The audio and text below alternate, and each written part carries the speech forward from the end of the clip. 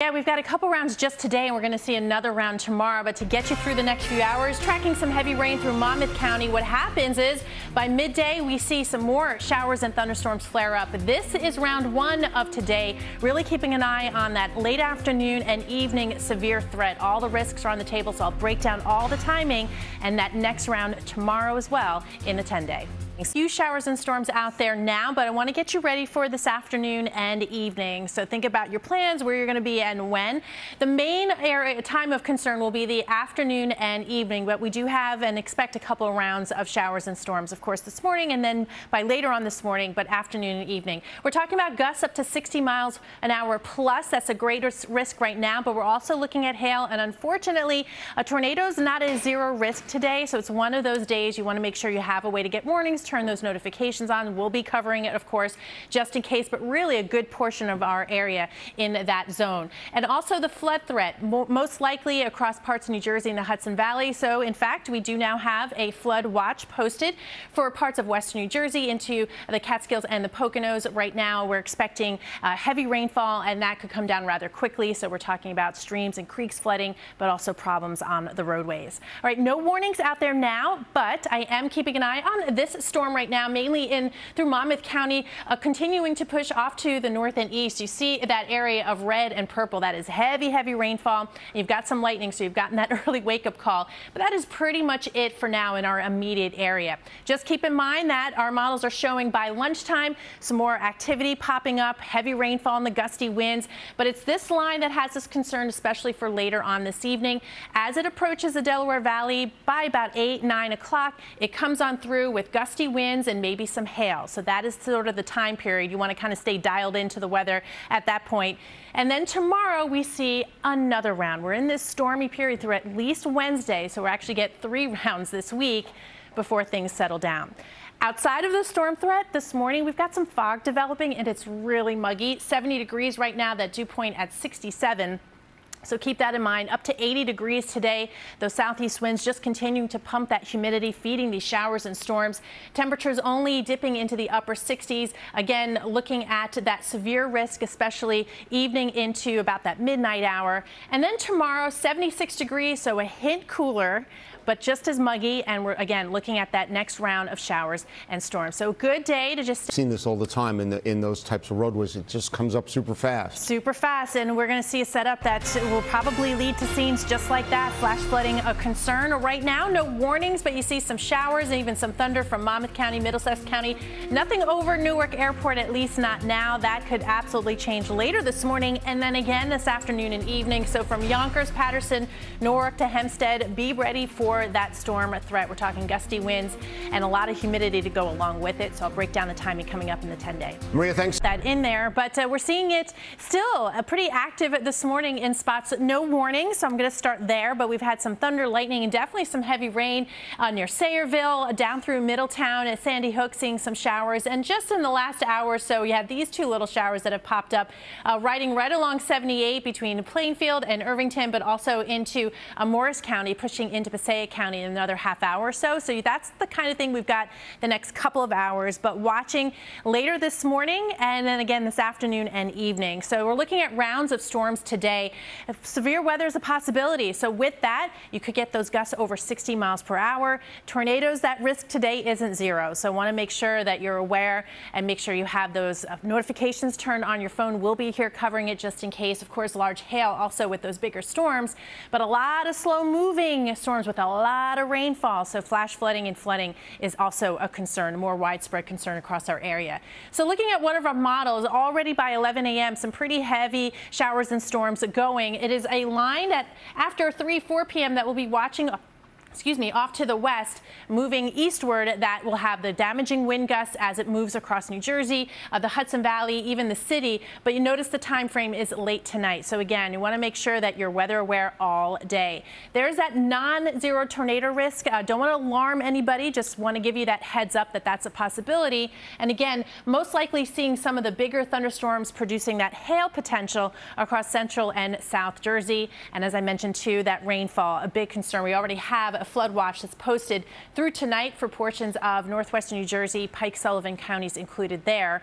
But looking at our rain chances, we finally get a break, but really not until Thursday and Friday. And we are keeping an eye on a storm threat as we kick off the holiday weekend. So it's going to be a stormy next couple days. Certainly looks stormy right now at Staten Island, one of those areas that I think the camera will be a little bit wet in the next hour or so with those storms approaching. 70 degrees out there right now, a lot of humidity also seeing some patchy fog. So again, a lot going on this morning and into the day today. Up near 80 degrees. Temperatures will stay mild and muggy near 70 overnight, 76 for the high tomorrow with another round of showers and thunderstorms possible. And again, some of these may be on a pretty busy day and it's really rounds of storms. We've already had some showers and thunderstorms this morning, uh, but we are looking at even potentially some sun breaking through. But it is that best storm chance later on this afternoon with the flooding rainfall and the gusty winds that has us concerned. We've already had some of that heavy rainfall. No warnings out right now, by the way, just to put that out there. Uh, but keeping an eye on Staten Island, you've got some showers coming through. This was that batch that moved through Monmouth County that had a good amount of lightning with it and some of those gusty winds, uh, even a few spotty showers right now. But that's over the next few hours. It's by later this morning and midday. That that term, you know, this escalated quickly. That could be a situation we find ourselves later on this morning. If the kids are starting summer camp right now, just make them weather aware too. If thunder roars, head indoors. Uh, this is a situation where you can go from maybe some blue sky overhead to downpours and lightning in half an hour. It's that kind of time scale. And then you see it through the lunch hour, scattered showers and storms, some may be heavy at times. Then we'll be watching a line kind of take shape across Pennsylvania later on this evening. That we expect to come on through between, say, 9 o'clock and midnight. Here, too, with gusty winds and some uh, very heavy rainfall. That tornado risk today isn't zero, so just want to put that out there, too, that you want to make sure that you have your notifications turned on. We'll be here covering it all. and, and follow us on Twitter because those alerts go out. And we see even with that heavy rain threat now a flood watch. So all of the threats are on the table. Again, this morning, not a ton out there, but we're seeing some of the dark skies and showers near Staten Island and the expressway now. It's 70 degrees, that dew point in the mid and upper 60s. It is humid, and that combination with, for now, light winds. We do have some patchy fog developing, and for now, Suffolk County under that dense fog advisory through 9 a.m. So here, visibilities could be less than a quarter mile pretty quickly. 80 degrees today outside of all of that weather. Again, keeping an eye on that storm chance even through the early part of the overnight. 69 degrees overnight, 76 tomorrow. But again, scattered showers and thunderstorms, isolated severe, really starting by midday. It's going to be tough. We're looking at weather being a real issue for airports across our area, across our region. A shower moving onshore, approaching Brooklyn and Queens right now as we look live at Coney Island from EarthCam. So we're already seeing some of the wet and stormy weather. And this is sweet Leo out of Whitehouse Station, New Jersey. And Leo's looking out the window right now for those storms, but you want to stay away from windows once they get going, which will pick up again this morning, this afternoon and evening, and tomorrow even more storms. So I'll break down the impacts coming up in the 10 day. Maria, thank day and then some. So we have that severe risk again. It's lightning, destructive winds, but even some uh, hail possible, and that tornado risk today isn't zero, and those flooding downpours along with it. And you can see where the risk area is really everywhere, but Central and South Jersey especially kind of heightened risk with all of these factors.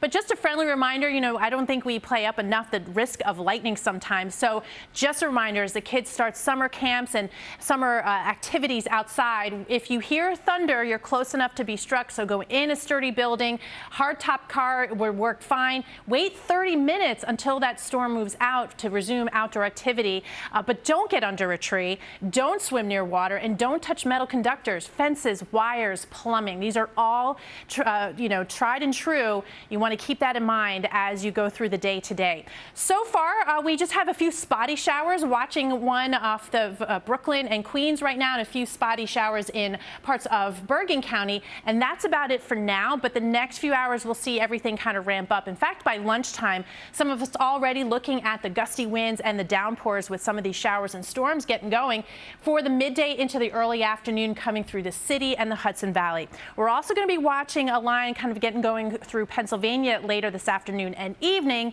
So think rounds of showers and storms here too. By 8, 9 o'clock coming through with those gusty winds and that heavy rainfall. And even past midnight, can't rule out some of those showers and storms. And then we do it all again tomorrow. On top of that, we've got some pretty dense fog in parts of Suffolk County as we look into Nassau County right now. It is mild and muggy. 70 degrees, that dew point in the 60s. So watch that fog as well uh, during the morning hours today.